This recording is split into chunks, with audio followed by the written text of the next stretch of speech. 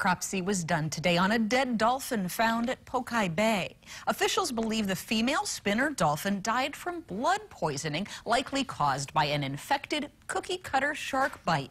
A blood clot was also found in her brain, and a meter long tapeworm was found in her intestine.